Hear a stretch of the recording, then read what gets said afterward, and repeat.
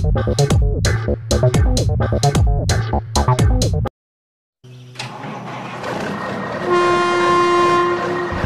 subscribe Hungry Driver. Good morning guys, good morning. So, wala pa tayong biyahe kasi ginagawa pa yung aking tractor head. Pinapaganda muna nila yung truck ko ngayon. So, i-share ko lang ano kung paano ako naging truck trailer driver. So, way back 2009 nung nag-apply ako sa dito sa company ko. And thanks God eh, until now nandito pa rin ako. Almost magti 12 years na ako dito. So,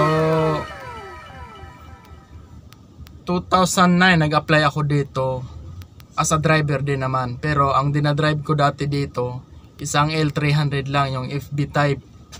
So napakalayo nung diferensya nung sasakyan na yon kumpara sa dinadala ko ngayon. That time kasi,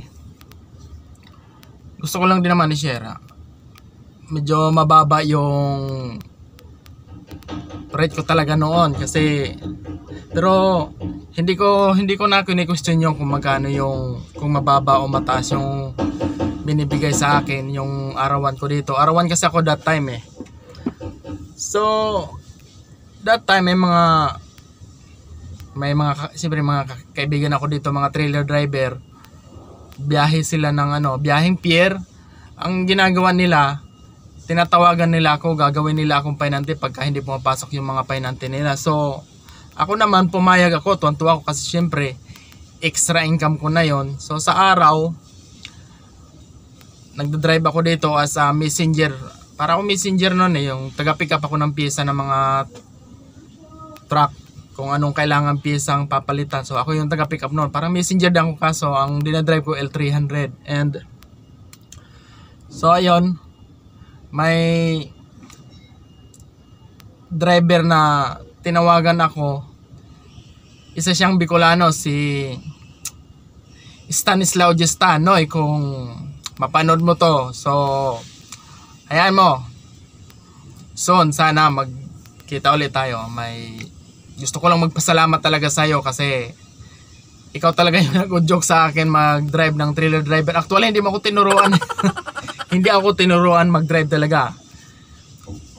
So that time, gabi, gabi yung biyahe nila ng pier. So tinatawagan nila ako pag gabi and pumupunta ako, sasama ako sa kanila.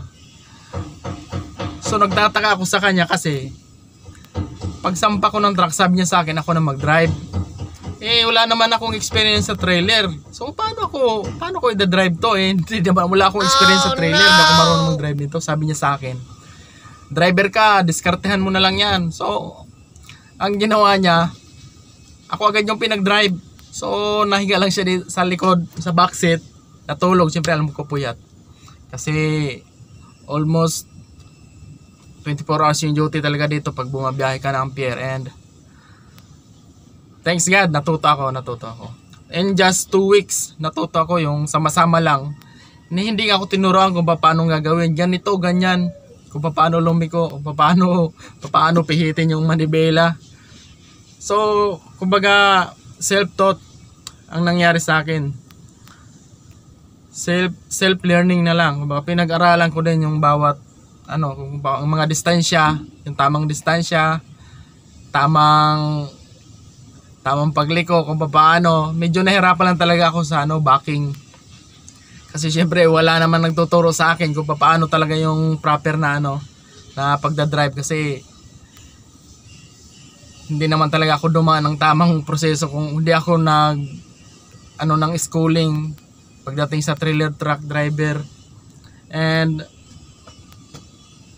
so yun oh, nakakatuwa lang. Nagpapasalamat talaga ako sa tao na yon alam ko nasa ibang kumpanya na siya. So ako lang yung nag-stay talaga dito na medyo mag almost 12 years na ako dito. And ang experience ko dito as a trailer truck driver is almost 10 years na rin. And solid na solid.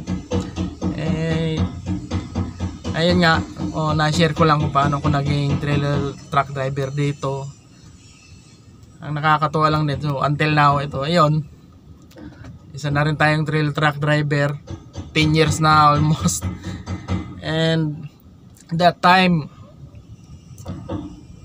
23 years old ako, nag-start ako mag-drive ng trailer truck driver. 23 years old pa lang ako noon. So, sa mga gusto rin matuto dyan, mga ano, gusto ko kayong encourage na huwag nyo gawing komplikado kapag ah, tinuturuan kayo. Makinig lang kayo sa nagtuturo sa inyo kung paano mag-drive ng tama sa trailer trailer truck driver kasi kung pinipressure kung iniisip mo yung mga turo nila na ginagawa mo komplikado ma ano mahirapan kang matuto. Kailangan relax ka lang tapos makinig ka lang sundin mo lang yung mga sinasabi nila.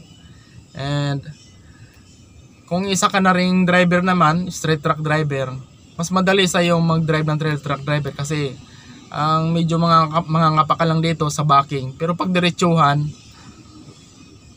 madali madali diretsuhan makakapag-drive ka na kasi same lang naman siya doon sa straight track.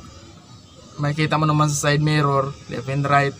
Ang medyo mahirap lang talaga sa una yung backing. And madali lang naman siya matutunan basta pag-aralan mo yung kilos ng ng truck kung paano yung palo, paano yung pihit, pag pipihit, pag liliko ka pa kaliwa, ang pihit mo nun pa kanan.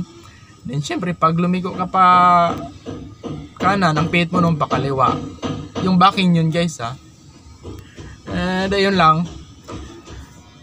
And sana magkita kami nung tao na yun. Gusto ko siyang pasalamatan kasi hindi niya naman talaga totally tinuruan. Kumbaga, pinabayaan ka lang ako mag-drive na ano, bahala ka na dyan sa buhay mo. Bahala ka dyan kung anong gagawin mo. And yun lang, no? Oh, that time, wala pang preno yung mga trailer namin. So, alam nyo kung gaano kadelikado pag walang preno yung trailer natin. Tractor lang yung may preno. So, siguro, eh, medyo relax lang din naman ako mag-drive. Pagka tatak mong pogi lang naman, Napakiramdaman ko lang kung ano ang tamang tak tamang takbo tapos kung ano yung delikado. Huwag pa bigla-biglang preno pagka walang preno yung trailer kasi sisiyete ka talaga niyan guys.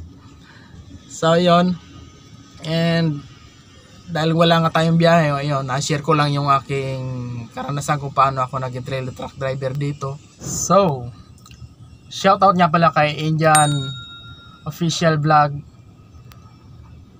Yatski, yung matinik na yung vulcanizer dyan sa motor pool department. Si Dono C. Si Ryan Mart at saka si Tulad, yung mga batika na latero na gumagawa ng aking truck ngayon.